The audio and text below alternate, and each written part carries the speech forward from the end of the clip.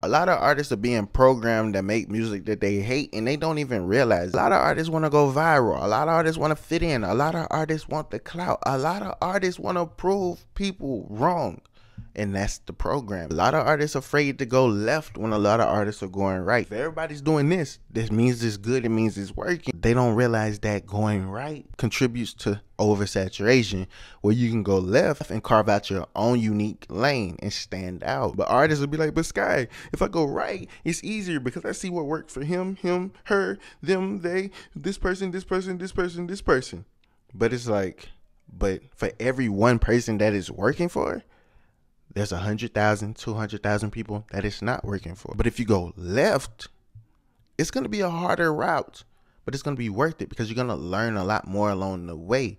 And you're going to build an audience, a community of people that are for you. And now that I got the trash artists out the way, could you like the video and stick with me to the end? Because I don't want you to continue to make music that you hate. The first step of the programming is that artists make music that they don't even like. A lot of artists be like, yo, I really get busy with this lyrical shit. But this melodic, this trap, this auto tune shit, this is what's what's popular. This is what's popular. So I gotta force myself to make this music. You don't have to force yourself to make that music. There are people that love lyrical rap still. It might not be as popular mainstream as you would want it to be, but there's artists out there that's making a million dollars a year, half a million dollars a year, a hundred K a year, being lyrical, making the music that they want to make. A lot of people see Yeat winning and they'll be like, yo, I can rap better than Yeat, so let me go over here and do what he's doing. You don't like that music. So why are you even trying to make it? And I'm not talking about the people that's trying to find their sound, find their style. I'm talking to the people that actually understand what they're doing, got some type of motion going, whether you got a thousand followers, 50 monthly listeners, you have something going that you can build on because obviously some people find you interesting. Figure out what brought them there in the first place. But a lot of people fall victim to the programming because they want want to go viral. They want to fit in. They want to be accepted by every underground rapper, every rapper in the city, everybody. They don't, you know what I'm saying? Like that's the problem. Like, make the music that you like. Make the music that you love. Stop making music to fit in. Stop making music just for the purpose of going viral. If you're not being authentic, it's going to be a problem because you're going to build a brand around something that you're not. And a lot of artists burn out because of that because you're not being authentic. And speaking of authentic, that leads me to the second part of the programming. This part of the programming really keeps a lot of artists in check. You and the other artists that like the video, like, come on, like the video, you're afraid to be called corny, whack, lame, trash. You need to stop. I don't know why people would even listen to you. You can't mix. Your voice sucks. You're afraid of that. And that contributes to the programming because you're not going to be yourself, right? If you're authentically being yourself, people can't really control that. But what they can control is like, hey, if you're not dressing like this, people aren't gonna like your pictures. If you're not making content like this, you're not gonna get no views. If you're not rapping about this, you're not gonna get no streams. You know what I'm saying? You're not gonna get no fans. You're gonna be going to world tour.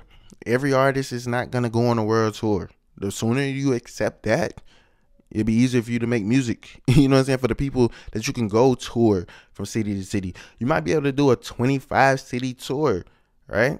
You might not be able to do a 200 city tour. You know, you might be able to do a 10 city tour. That's okay. You know what I'm saying? You can't let other people metrics of success be your own personal metrics. And the reason why I said number two is one of the most important things because I almost fell for the programming myself as a content creator. People will call me whack. People will call me corny. People will call me everything under the sun. People will say I'm faking how I talk. But I'm like, bro, this is how I talk. I really talk like this. You know what I'm saying? Like niggas be like, you don't nobody know talk like that. You're trying to talk cool. It's like, bro, nah, bro. You just think I talk cool. This is how I talk. I'm from the South. I'm sorry, I don't talk like where you from. Oh, your songs are whack. Your songs are corny. But it's like, bro, like people be wanting me to drop music. People like my music. And then I learned it's like a lot of people that leave hate comments, they leave hate comments because they hate seeing people actually be happy doing what they do and making content, making music, having fun. I love doing this shit. You know what I'm saying? Um and yeah, I almost fell for the programming because YouTube programming would be, hey, Sky, make presets, keep making presets, only make presets. But a lot of people don't realize a lot of my content that got a lot of the views, it's not preset content. It's me talking to the camera. It's me recording. You know what I'm saying? Niggas be like, oh, you need to be teaching us how to mix because you need to be like, bro, I can't teach you how to mix unless you watch what the fuck I do. You know what I'm saying? Like, that's just what it is. You're not gonna watch one video and become a, a, mixing engineer. That's not gonna happen. Third part of the programming, a lot of artists ain't gonna like what I gotta say, but I gotta say it anyway. You're making music that you hate because you've been tricked into thinking that you need the acceptance of other artists, other creators, and that's just not the case. You can build your own community of fans. You need to be able to bring in the people that love your music, love your personality, love the way that you think, have similar interests as you outside of making music because I see it all the time. That's the sole purpose of why I deleted my Discord server because a lot of artists was in there just trying to get approval from other artists, only getting feedback from other artists. It was saying shit like, "Oh, you don't make music, so you can't tell me how my music sounds or this this." It's like, bro, the people that don't make music are the people that control the music industry. The nigga that owns Spotify doesn't make music.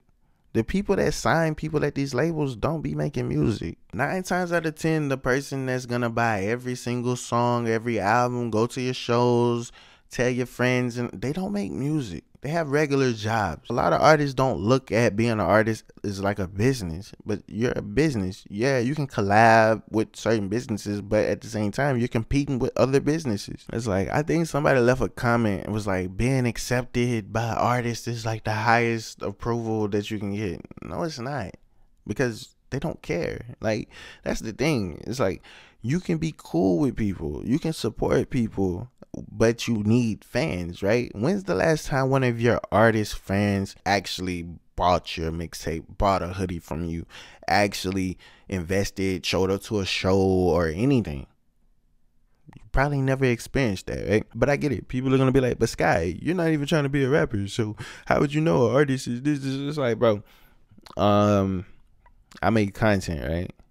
In the music space, make music, all this other shit, bro um, I don't care about having no approval from other content creators. Like that doesn't make me or break me. You know what I'm saying? Like, like that's just what it is. It's like that's just like me being like, yeah, bro, I make YouTube videos. So if Divine don't fuck with me, uh, I'm gonna lose sleep. Like, bro, I don't like, like you know what I'm saying? Like like other content creators don't have to like me. You know what I'm saying? Like that's just what it comes down to.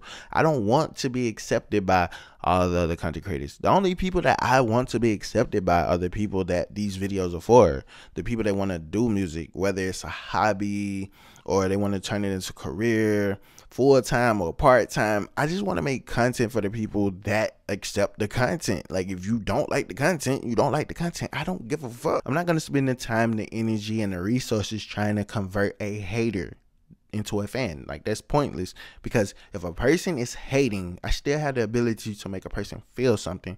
And I'm getting to the point now where people hate watch me. So that means I'm actually doing something good because people want to watch me to hate. And that's fine because that's a, still they're a fan without knowing that they're a fan. Like it's crazy, right? If you want to make music that you like, first you got to stop doing the shit that you hate. You got to be okay. A lot of people don't want to be okay. A lot of people don't have that self love, that confidence. And I understand starting out with zero, under 10,000 followers, whatever, fans, whatever, it could be hard. It could be stressful. But you got to understand, everyone had to break out of that programming at some point. You know what I'm saying? And that's what I'm doing now. Like, even to this day, I'm trying to break away from certain things that I don't even like. Because honestly speaking, I don't even like doing the whole preset shit anymore. Like that shit is boring. That shit is not helping people. Because the whole time I even made presets in the first place was to help people. Because at the time everyone was charging people 40 $50, $30 for some bullshit and I was like, hey, let me just give you free shit that you can record with so you don't so you can save money so you can put towards better microphones better interfaces marketing plans music videos and shit like that. But a lot of people took that the wrong way. So i want to know in the comment section below what do you like? Let me know the type of music that you like to make in the comment section below